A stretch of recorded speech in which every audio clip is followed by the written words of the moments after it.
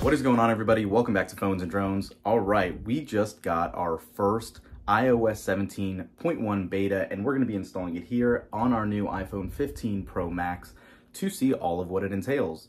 We'll do our traditional song and dance, check out the build numbers. We are waiting on quite a few features that were announced earlier that should be available now in 17.1 that are promised for October. That goes likewise for watchOS 10 with the new tap navigation gestures and as well as contact shares and all that. Kind of like you use two phones NFC wise to transfer data, you can now use that with your watch.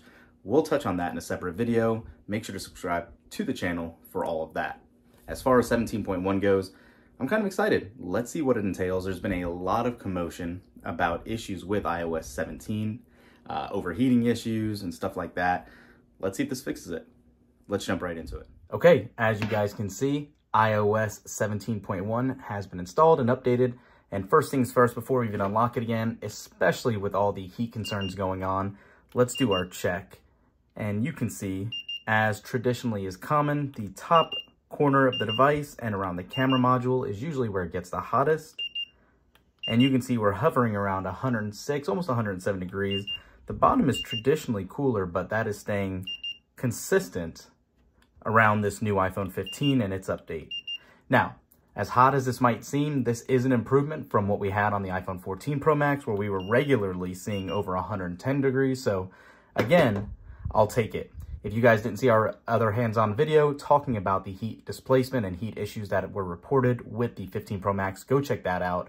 Uh, I think you'll be pleasantly surprised, at least in our findings, on day-to-day -day usage, not extreme usage, um, that it actually held up pretty well, and we didn't experience any of those other problems. So first things first, jumping into iOS 17.1 Beta 1 is the size. So this file came in right under 6.5 gigs. Specifically, it was 6.46 gigabytes for this 15 Pro Max. Let's jump into settings, general, about, and this version build is going to be, as you can see here, 21B5045H. So the H is significant just because we always work backwards forward to the front of the alphabet for finalized beta releases to actual public releases. And an H build signifies we are definitely some weeks away still for this release. Apple did say October would bring 10.1 with a number of new features, uh, specifically the journaling app, you have the collaboration for Apple Music playlists, airdrop over internet. There's a number of features that we still don't have that should be coming soon. I can tell you after a quick search, unless it was in settings, there is no journaling app yet. And I do want to just show you, since this was a concern also prior, system data you can see comes in right where it should, under 10 gigs. iOS 17.1 comes in right over 11. So that looks as it should. There was some hesitation for us to actually install this this year just because of how well our phone was operating, how it never did have any of those heat issues and all that. So we were happy to see that.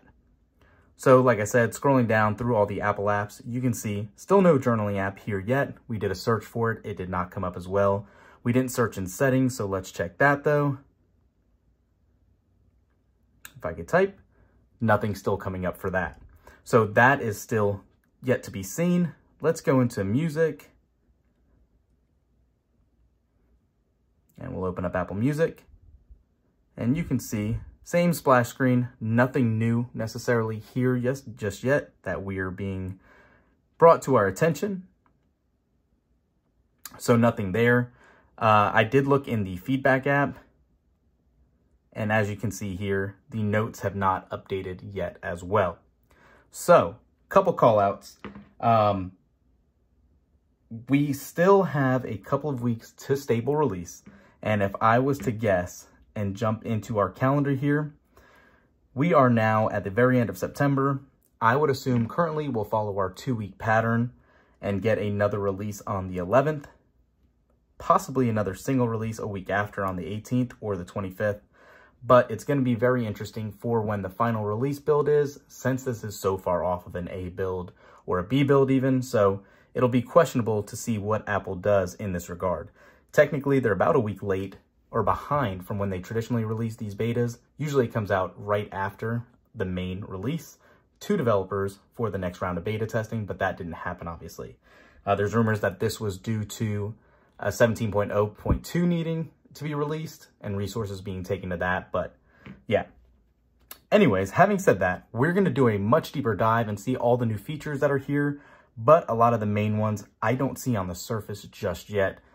We'll do a whole video on the testing of what we find new feature-wise, but I want to let you guys know it is out. Go download it, and we will catch you in that subsequent video. Stay tuned to the channel as well. We will be doing WatchOS 10.1, which also has a lot of features coming up in the near future as well. Peace.